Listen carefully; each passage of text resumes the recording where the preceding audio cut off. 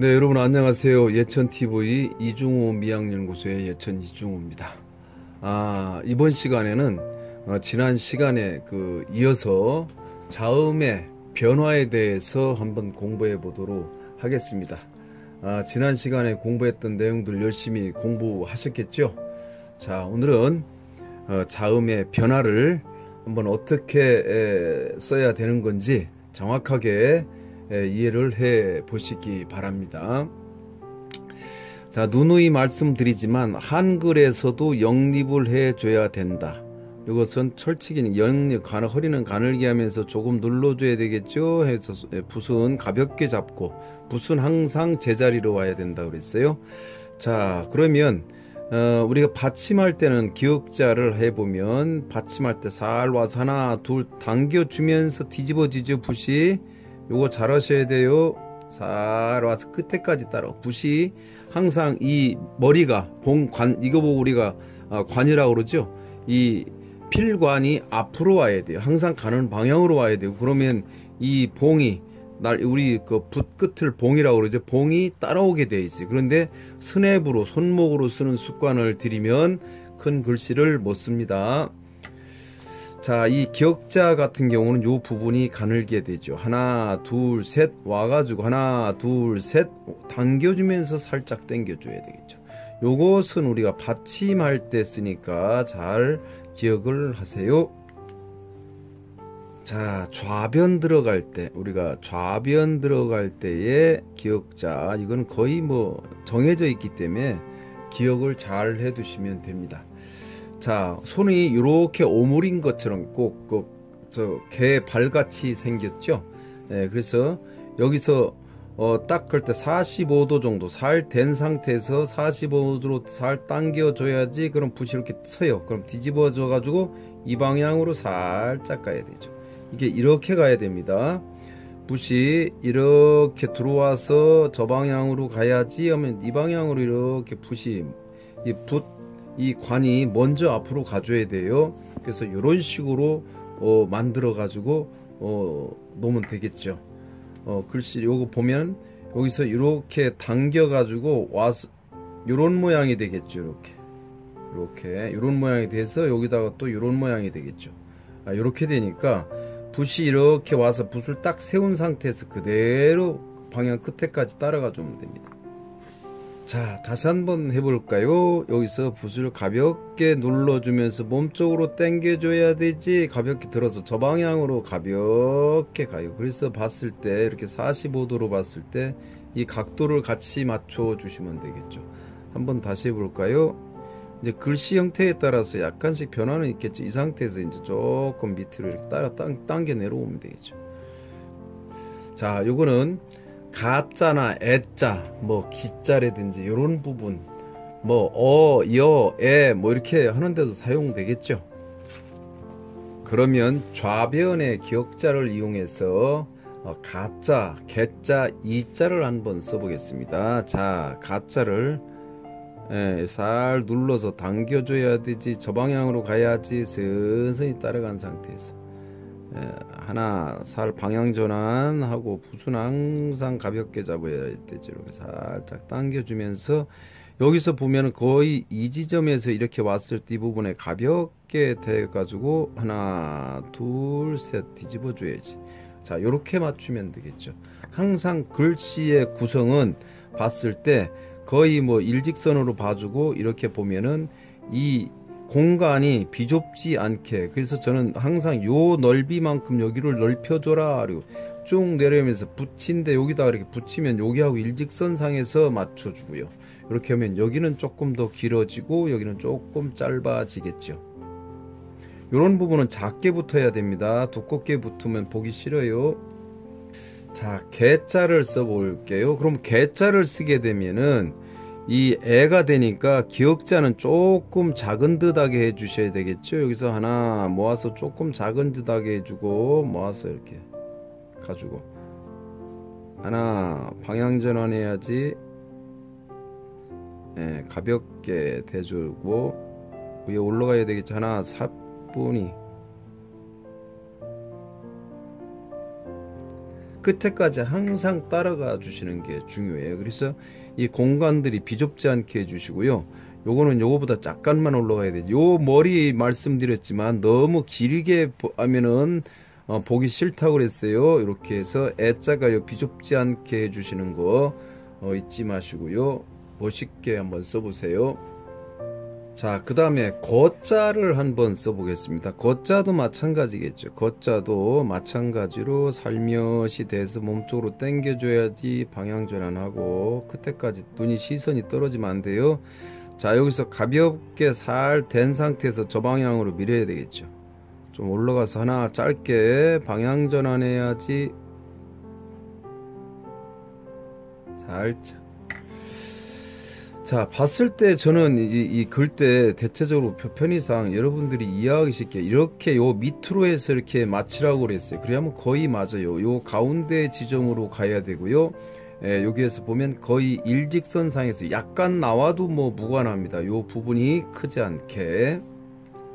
자, 기어자를 한번 써보겠습니다. 기어자도 마찬가지로 하나 모아서 살짝 당겨준 상태에서 저 방향으로 살짝 예, 호흡을 가다듬고 호흡을 멈춰야 되게 이렇게 하나 이렇게 돼야 되겠죠. 하나 모아서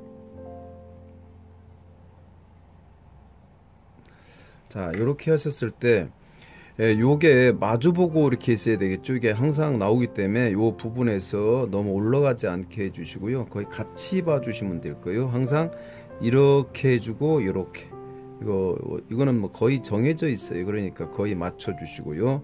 이런 예, 부분에도 약간 뭐 이렇게 나와도 상관이 없겠죠.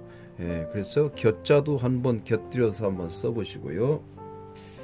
자, 개자를 한번 써볼까요? 어이 이런 거는 이제 좀 작게 써야 이제 맞겠죠. 이런 건 조금 작게 해가지고 이렇게 예, 해주신 다음에 살짝 붙이고. 하나 짧게 잡아서 밑으로 내려와야 되겠죠. 네. 글씨가 뭐 등이 약간 이렇게 쉰 듯하게 이렇게 해주면은 더 율동감이 더 있겠죠. 요거보다는 조금 더 내려와야 돼요. 공간이 비좁지 않은 거 잊지 마시고요. 가운데죠.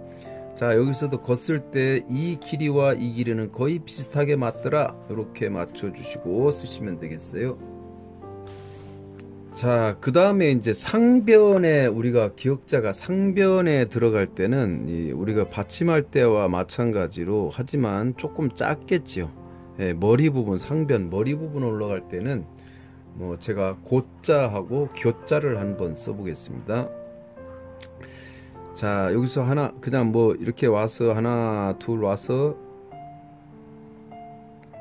하나 둘 살 당겨주고 예, 당겨주고 요 안으로 살포시 들어오면서 세워서 따라가면서 이렇게 해서 영립해서 들어가는 거예요 이렇게 예. 예. 이렇게 해서 영립해서 들어가면 붓이 연결성이 있고 좋잖아요 그래서 넉넉하게 붙지 않아야 돼요 곧자는 자 이렇게 봤을 때 안으로도 이게 너무 나오면 보기 싫겠죠 예, 그러면서 각을 허리는 항상 가늘게 하면서 약간 한글이 오른쪽으로 했을 때 약 간만 올라간 듯하게 하면 더 율동감이 있겠죠. 자 그럼 상변에 교자를 한 번 더 써볼까요? 돼서 방향 전환해야지 하나 둘 모아서 네, 붓을 끝에까지 따라가라겠어요. 이거는 좀 앞으로 나와야 되겠죠. 여긴 좀 올라가고 쭉 끌고 나오세요. 허리는 어떻게 가늘게 약간 자 이렇게 해주면 글씨가 깔끔하죠. 이거는 조금 튀어나와야 됩니다. 공간 요 배열을 잘 해주시고 붙지 않게. 이것도 허리는 가늘게 하면서 거의 같은 선상하되 여기는 약간 허리가 위에가 들리게 앙세가 된 듯하게 해주시고요. 자 머리 부분에서도 이제 우리가 뭐 우자라든가 뭐 어, 유자, 우자, 뭐 이자라든 이런 글자를 쓸 때는 또 방, 글씨가 약간 형태가 달라지겠죠. 자 그거는 자 보세요. 붓이 예, 항상 이렇게 됐어. 이거는 위로, 위로 올라가면서 눌러야 되겠죠. 눌러서 일로 가볍게 붓을 세우세요. 세운 상태에서 살 당겨서 붓을 다시 모아주면서 이렇게 내려와야 돼요. 위에. 자 하나 나중에 숙달 되면 쭉 당겨가지고 바로 막 이렇게 이렇게 해서도 오실 수 있는데 그리 하시지 말고 하나 딱 세워야 돼. 붓은 항상 방향제를 세워서 이렇게 오신다고 생각 이 안에가 이렇게 되게요 요 보면 이게 동그랗게 비슷한 이렇게 돼 있죠 뭐 때로는 뭐 이렇게 해서 글씨가 약간 변화를 시켜가지고 이렇게 나가는 경우도 있는데요 이런 것들은 글씨에 따라서 여러분들이 요리도 한번 써보시고 어, 그런데 하는 방법은 똑같다는 거죠. 격자가 다른 자 어, 다른 부분보다도 여기가 조금 어렵죠. 그래서 붓을 가볍게 대서 위로 올라가야지 당겨서 그대로 세우고 이 상태로 오고 약간만 세우고 이렇게 네. 그래서 하나 둘 셋 이렇게 세 등분으로 했을 때 예, 붓이 이런 식으로 이제 따라오겠죠 하나 세우고 다시 이렇게 와서 다시 세우고 예, 기초할 땐 이렇게 해주시는 게 좋아요. 한번 이게 어려우니까 한번 더 해보겠습니다. 하나 세우고 약간 내려 세우고 이렇게 그럼 붓이 이러, 이렇게 되겠죠. 자 그러면 글자를 한번 제가 써보겠습니다. 한번 같이 이제 쓰시면 쓰시면서 보세요. 하나 세우라 그랬죠? 약간 세워서 붓이 세워 세우고 살 당겨 주면서 들어가는 거죠.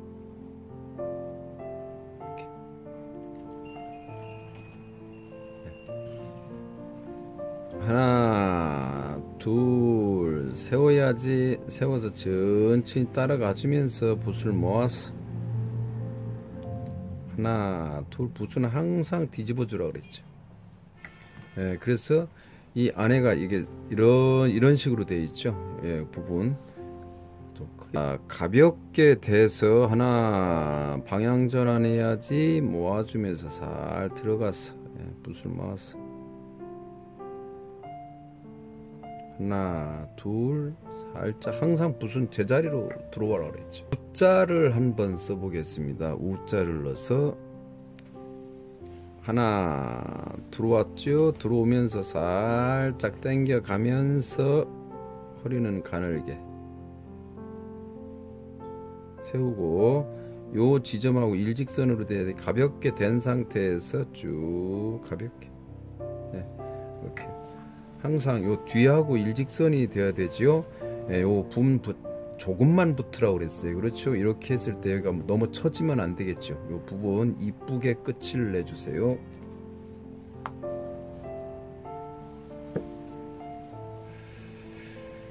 자, 그러면 규자를 한번 써보겠습니다. 하나 세우고 모아서 살짝 세우고 들어와서 가볍게 들어와서 방향 전환해야지. 하나 둘 세우고 자, 요 부분에서 가볍게 대서 이렇게 살짝 요 끝에 부분에 대놓고서 살짝 옳지. 예, 그러면 어, 조금 이렇게 일직선이 일로 직선이 돼야 되겠죠. 하면서 여기 꽉 띄워주는 거, 여기도 띄워주는 거, 어 여기하고 일직선이네. 자 그러면서 이렇게 봤을 때 이 각도가 이 가운데 일로 빠져나오게 잘 맞춰서 예쁘게 균형을 잡아 보세요. 자 그러면 니은 니은자를 해보게 니은자를 한번 해보겠습니다. 니은자도 마찬가지로 기억자와 마찬가지로 자 여기서 우리 직수 내릴 때 어떻게 했어요? 여기서 하나 둘 들어와서 이렇게 해서 이렇게 내려왔잖아요. 이렇게, 이렇게 내려왔죠? 요만큼 자르는 거죠. 그럼 어떻게 해요? 여기서 이렇게 와서 이렇게 온 상태에서 하나 밀로 가면 저 방향으로 가야 뒤집어져야 돼요. 이렇게 이렇게 예. 예, 붓을 뒤집어 줘야 되는데 붓을 어, 이렇게 와가지고 이렇게 밀고 가는 분들이 있어요. 이렇게 하면 측필에도 읽으면 글씨 못 쓰죠. 그래서 초보 기초부터 아주 튼튼하게 하시는 게 중요해요. 어, 다시 한번 해볼게요. 들어와서 어, 이렇게 내려왔다. 어, 이 방향으로 와. 어, 저 방향으로 가야지. 이렇게 가죠. 예, 가는 거예요. 예, 많이 연습하세요. 그냥 대놓고도 뭔지 숙달 되면 대놓고도 가는데 하나 둘 당겨주면서 저 방향으로 가야지 이렇게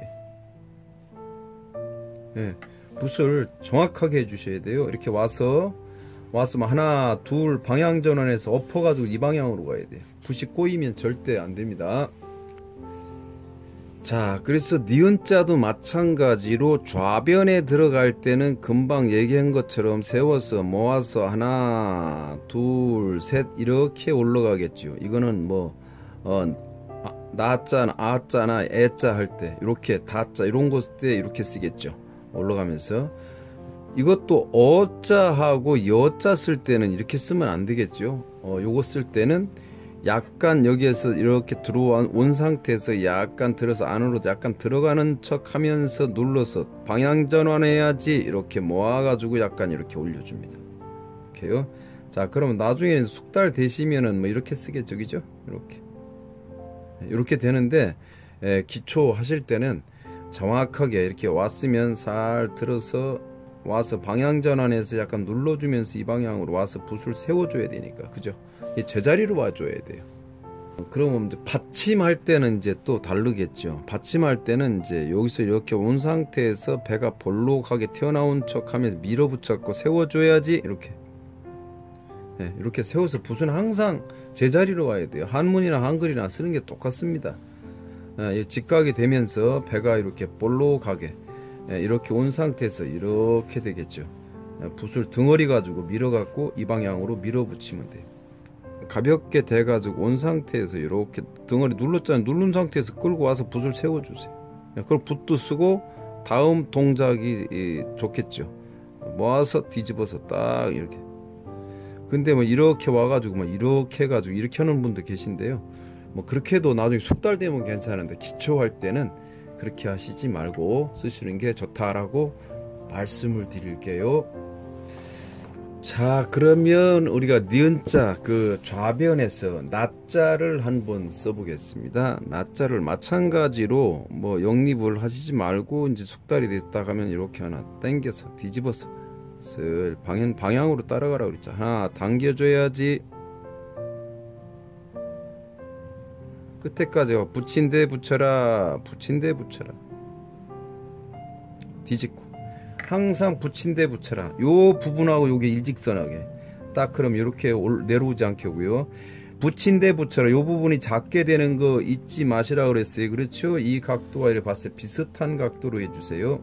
이 부분 튼튼하게 붙어야 되겠죠. 자 그러면 상변에 들어가는 것은 또 이렇게 어, 어떻게 해야 되겠어요 이렇게 온 상태에서 상변에 들어간 노자래 오자라든가 노자 같은 거 이렇게 되겠죠 어, 요거는 받침은 이렇게 되니까 요거는 여러분들이 항상 기억을 하셔야 돼요. 그러면 노자를 한번 써보겠습니다. 상변에 있는 거. 자, 온 상태에서 살 땡겨서 노자는 짧게 해 주셔야 되겠죠. 항상 붓은 어떻게 뒤집어 주라는 얘기죠. 하나, 둘 영립해야지 허리 가늘게. 중봉으로 하고요. 영립을 해주면 붓도 쓰기 편하고 글도 좋아요. 가운데 중심으로 들어와서 자 먼저 번에 제가 말씀드렸어요. 이죠 이렇게 맞추라고 이죠 이렇게 이렇게 맞춰주면 좋죠. 가운데 중심에서 이게 처지지 않게 해주는 거 잊지 마시고요. 뭐 뇨자 같은 것도 마찬가지겠죠. 뇨자도 이렇게 뭐 내려오면은 항상 세워주시고 여기는 앞에가 좀 짧아야 되겠죠. 이건 조금 더 올라가고 예, 올라가면 쭉 들어가서 쓱 눌렀다가 허리는 어떻게 가늘게? 예, 좀 붙어야 되겠네. 자 이렇게 하셔서 약간 오른쪽이 처지지 않게 맞춰 가지고 안쪽으로 이렇게 맞춰서 요자도 한번 써보세요 그럼 어자하고 여자를 한번 써볼게요. 어자. 노자도 마찬가지. 이렇게 한 상태 약간 안으로 약간 들어가는 척하면서 붓을 세워주고.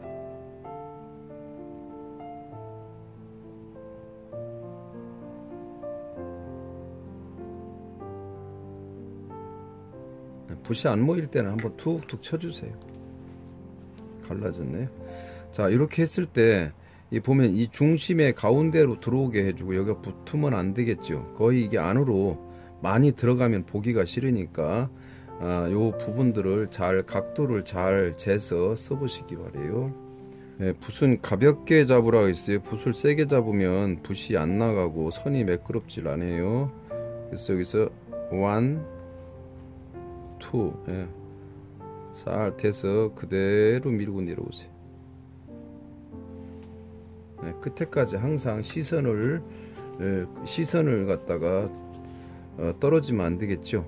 여기서도 붙으면은 안 되니까 이런 식으로 잡아 약간 여기가 위로 올라가 있죠. 받침하고 틀려서 같이 맞춰 주시고요. 네, 예쁘게 한번 써 보시고요. 는자를 걸으면 상변하고 하변이 같이 어우러지는 글자 는자를 한번 써보겠습니다. 자 위에 와서 하나 둘 뒤집어야지. 이렇게 살짝. 자 앞으로 충분하게 여유를 주시고.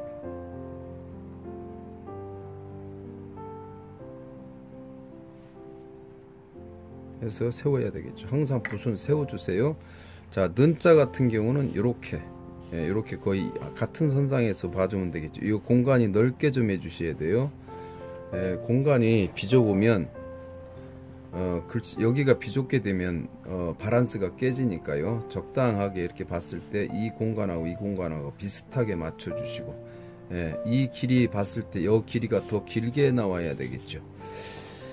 자 오늘은 한글 자음의 변화 기억하고 니은자를 써봤습니다 여러분들 열심히 하시고 다음 시간에는 어, 디귿 니을 뭐 미음 이렇게 나가도록 하겠습니다. 자 지금까지 이중호였습니다. 감사합니다